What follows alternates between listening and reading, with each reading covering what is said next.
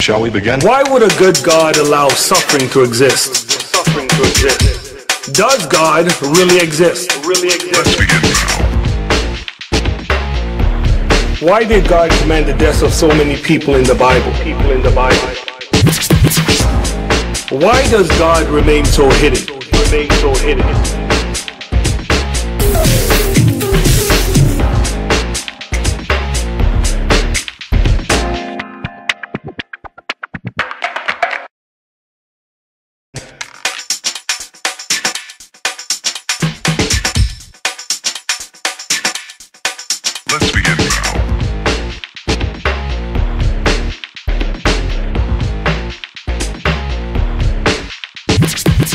Welcome to the third degree. My name is Sule Prince, and I'm here with Dr. Tony Costa.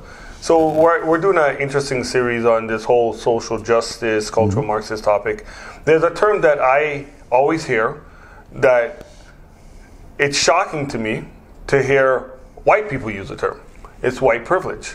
And you, you see them say, as a white privileged person, or as a white. Pri-. What is white privilege, and how does it um, coincide with the social justice movement? Yes, you'll hear that term bantered about very frequently in the social justice movement.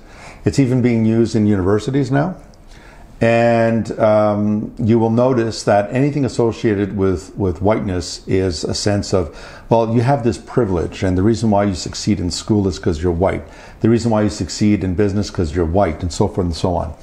Um, statistically, of course, this is this is demonstrably false. Uh, in the United States, Asian Americans, for example, Yes. make a lot more income, higher incomes than white Americans.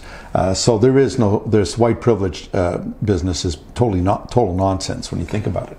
So the first person who came up with this term was a, a feminist by the name of Peggy McIntosh in 1989 uh, at the well, uh, Wellesley College of uh, Research on Women's Studies. She based this whole thing on subjective experiences, uh, what white people would tell her. Uh, this was not based on any data, no pool of evidence or, or information that she uh, researched. Uh, this was just basically based on subjectivism and so forth.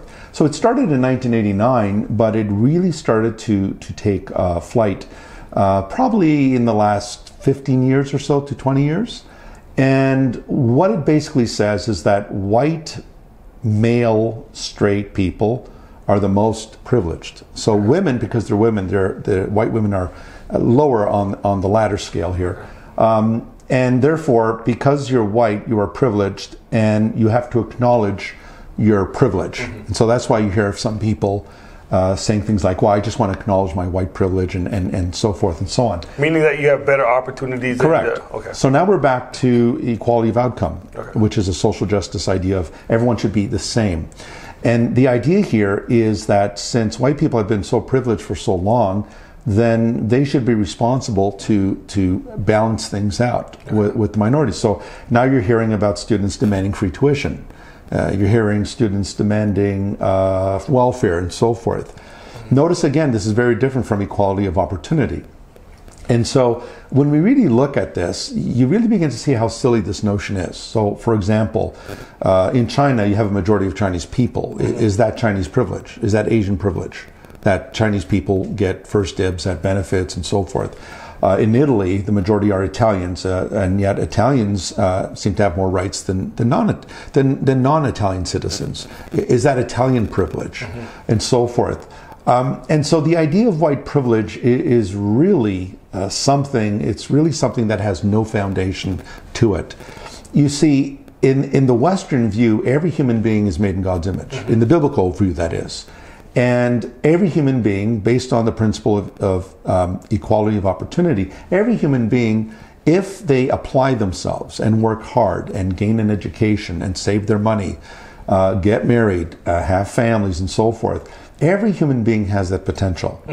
But the major problem that the social justice warriors don't want to look at, for example, in the 1960s, the question arose: Why is it that there's many uh, many African Americans are dropping out of school? Well, back in the 1960s, uh, only 20 percent of the black communities uh, were single mother uh, families. That is, there was only Yes. uh, one parent in the home.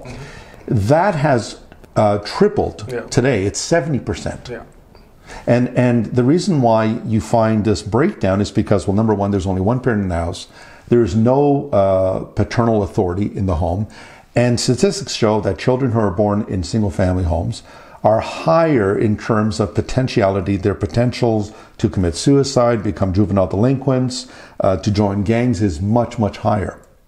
And so, what we need to realize here is that when the government of the United States under JFK uh, came up with what's called affirmative action, Mm-hmm. and they instituted that in the 60s, what they did was they started creating a welfare system. Yeah. Well, what did the welfare system do? Well, it gave people the incentive to not want to work. And it gave people the incentive that if the government is going to provide for me and take care of me, I don't have to be a responsible father. And so if a woman gets pregnant, I don't need to marry her and, and raise that child. I can just walk away mm-hmm. because the government's going to take care of that. So what ends up happening is that it actually proved to be disastrous to the to the African American community because what affirmative action is basically doing is it's actually racist. Mm-hmm. So take for example Princeton University uh, the SAT uh, exams, the entrance exams. So at Princeton University, they said, we're going to give African Americans a bonus of 230 points mm-hmm. on the SAT scores. We're going to give Latinos 185. But the Asians, because they're so smart, Yeah. we're going to take 50 points off. Yeah. Now, what are they saying? If you look at that very closely, what are they saying? We're going to give African Americans 230 points. Why? Because they're not smart enough? Yeah. And, and so the it's racist. And of course, it's racist. Yeah. And then the Latinos get 185 bonus points. Yeah. Well, they're they're you're giving them less than the African Americans. You're just saying Latinos are smarter. Yeah. Then and, and and the Asians are smarter than white folks. Yeah. So what it really is is the things that they claim that they're attacking are the very things that they're practicing. They claim to be against racism, but if you look very carefully at the root level, they're being racist as well. And you know, I, I watched a video that I was talking about for the fact that uh, it, it's almost easier for African Americans or Latinos to get in Yes. to university. The dropout rate is higher. Yes. Because they cannot function at that level. Yes, yes. Well, think of it this way: we're going to let you into uh, to a, an Ivy school, Yale or UCLA. We'll let you into Harvard, um, and we'll let you in because of your skin color. Well, uh, do you really want to go through higher education with the understanding that the only reason why you're there is because of your skin color, or because you, You have the hard. qualifications Yes, of to be what you are? Definitely. And so, if you really look at it very carefully, it is a racist Yeah. worldview, and and that gives you no incentive, and and it's not based on the idea that that equality of opportunity says, hey, you have the opportunity to apply yourself. So now we're going against everything Dr. Martin Luther King argued for that a person should not be judged on the color of their skin, but on the content of their character. So we're not progressing, mm-hmm. we're regressing. We're regressing. I'm glad that you stated all the facts that you did because, in their eyes, you're a white, Yes. privileged Yes. male. And we'll see that in the comment sections. Yep, the reason right, why I'm saying what I'm saying is because I'm privileged. Yes, 'cause of and, and and mark my words, you will start saying that in the comment Yes. sections. Dr. Costa, thank you. It's a pleasure. Thank you for watching this video. If you like what you see, please press the subscribe button right below. And beside that is the bell icon. If you want to receive all of our notifications of everything that we do, press that icon as well. Thank you.